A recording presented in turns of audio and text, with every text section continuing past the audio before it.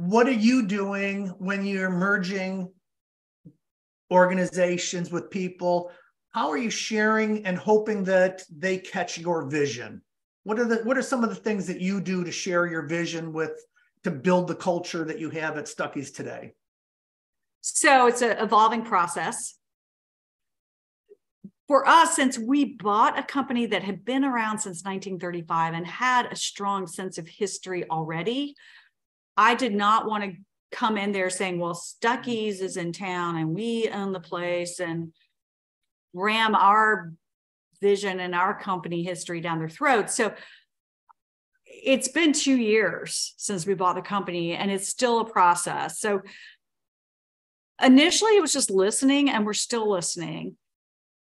And we just hired a new person whose job in part will be related to culture and employee engagement. And so I've got him conducting interviews with the team members and getting their honest feedback on how the company could make them feel like they belong and happier what's going what are their issues. So he's got questions that he's going to ask each of them that's going to be kept anonymous. Yep and then we're going to take that and that will help inform how we grow the culture. And so i think it's not just my vision what's our shared vision? It's to get that buy-in and certainly i have a sense of what where, where we need to take the company but you can't take it unless you've got people who are part of that journey with you. So it's a process. I think it's listening first and foremost and then knowing that their input is what's going to drive what we're putting forth. So we're we're still in the process. I mean, of course, we have a strategic plan and we have a vision statement and mission statement, all the stuff that's required for your financing. And you know, we have a strategic plan, but as we grow and we've got a bigger team, we've got to get buy-in on that. And buy-in starts with listening. So we're going to listen and then we're going to start evolving from there. And we've we've got lots of big plans. Ask me in a year because I think um, our culture is going to really start taking off after we start finish doing our listening session rounds.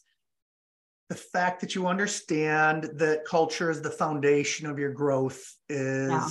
fabulous. We I like to look at it as the culture is the foundation of the house that you build um, or the business that you build. The two walls are you know, looking at it from the um, cohesiveness. Is the team honest with each other? Do they trust each other?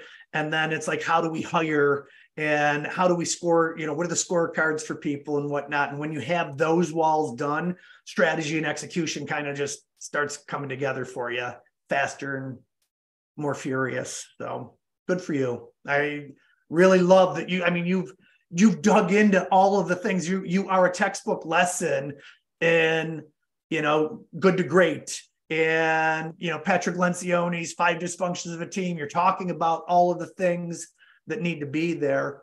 I, um, i'll share with you a, a quick story.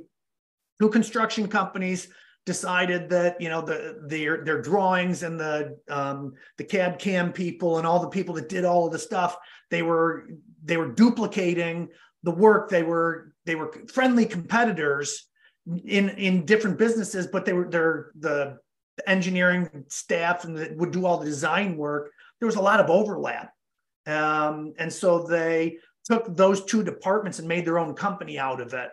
And now you've got the you've got the you know the the culture of one company clashing with the culture of the other company and it was going on and the, the ceos were both frustrated because it was not going anywhere as close to the way that they thought and their business coach said throw away both of your cultures and go and pull your leadership team together from the group that's there and yeah. have them create the culture of what the future is going to be and i thought that was mm-hmm. that was pretty interesting to to think about that yeah, thanks for sharing that. That's relevant to what we're trying to create and make sure it's something that everyone is co-creating.